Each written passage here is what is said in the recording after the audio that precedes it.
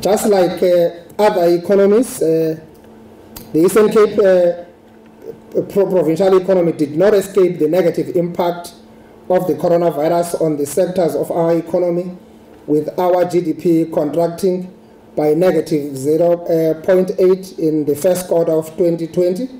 Five of our industries that contracted are mining, uh, which was uh, down uh, quite uh, significantly, manufacturing also down by 8.6%, construction also down, electricity, uh, as well as trade was also down. This has resulted in loss of business, loss of jobs, increased poverty, increased crime, unemployment, and contributing to inequality.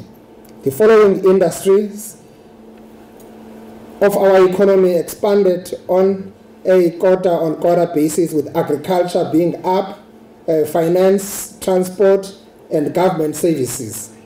To address the situation of low economic activity, we are moving from economic relief, relief to economic recovery, and we are uh, premising this move on knowledge generation, uh, dialogues, and action, uh, acknowledging the infrastructure uh, that it is the bedrock of our economic recovery. I think with all the work that National is doing in terms of uh, the infrastructure rollout uh, plan, uh, we see more opportunities as the province, but also we're quite happy with the tourism sector now that the minister has also allowed uh, more relaxation around that. Uh, so it gives us more, and we are a tourist destination. We work more on tourism, and our province gains a lot out of tourism. Our SMME in that space will also have uh, their life back to normal.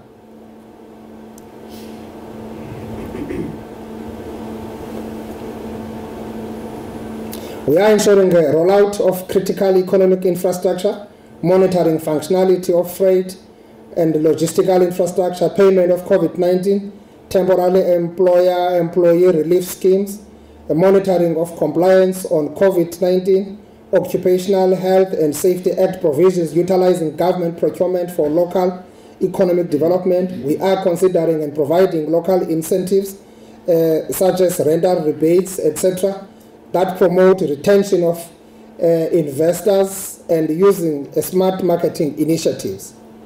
A framework to support informal traders has been developed uh, with ECDC uh, and incubation programs have been distributed to local municipalities. In the rollout of the FNB SMME incubation program, an inception meeting with the district was held and database for SMME to be incubated has been completed. Beneficiaries in the creatives industry have been briefed on the process to receive support and in the sport and recreation sector, uh, 207 applications for assistance were received from beneficiaries funding for three distressed businesses was approved uh, to the value of 5.8 million, saving 581 jobs uh, in Nelson Mandela. Uh, also, more work in BCM uh, has been done, uh, also saving 1,601 uh, jobs. About 1,754 vouchers were issued by the Department of Agriculture, uh, Land Affairs, or Land Reform and Rural Development to farmers, and further 278 vouchers to farmers distributed by Department of Rural Development and Agrarian Reform. The province is supporting vulnerable households with food production packs, and the delivery of food production packs is expected to be rolled out towards the end of August and during September. Uh, uh, this year.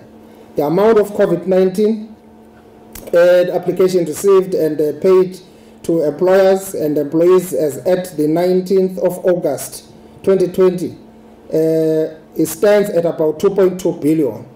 Uh, that has been paid to 52,896 employers and 52,800 uh, or 528,157 employees that have benefited.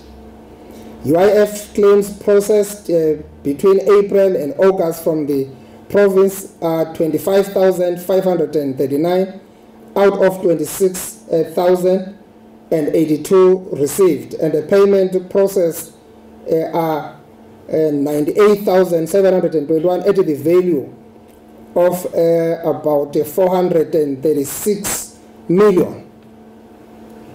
The board of the East London Special Economic Zone approved implementation of a rental abatement which uh, will bring relief to industries located in the zone.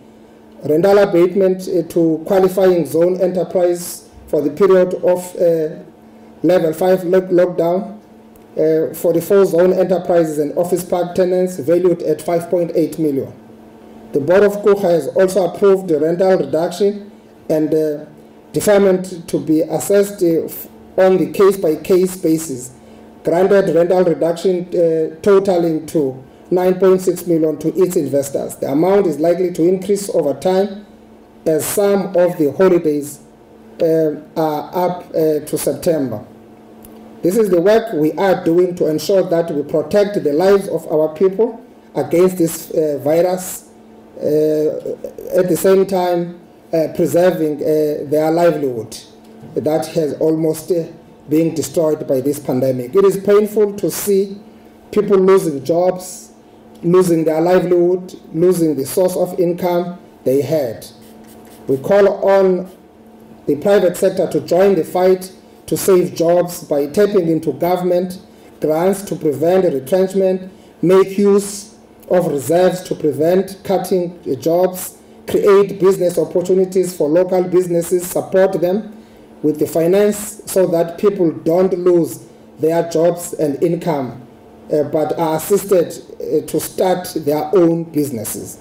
This will sustain our people, especially the young people who have uh, bright and brilliant ideas but lack financial uh, finance and market. So it's going to be important that we focus more on SMME development, SMME support.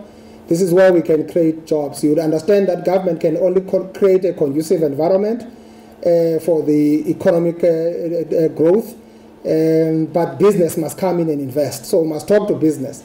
That's why the issue of corruption becomes a threat uh, to our government uh, domestically and globally. So we've got to deal with that issue and confront it uh, you have seen us going out, uh, being more transparent as a province, announcing the lifestyle audit, especially in the cabinet, uh, taking out everything that government is doing, and we will be actually publishing all these uh, uh, no longer only PPE, whatever a transaction on a tender uh, will be quarterly publicized consistently by our government moving forward. It is part of our attempt, our attempt to ensure that what government does our people also uh, have a, a, sense of the responsibility, and government must be held accountable because this is a government of the people, by the people, for the people. So we are working hard as a province to get things done, uh, get ourselves organized.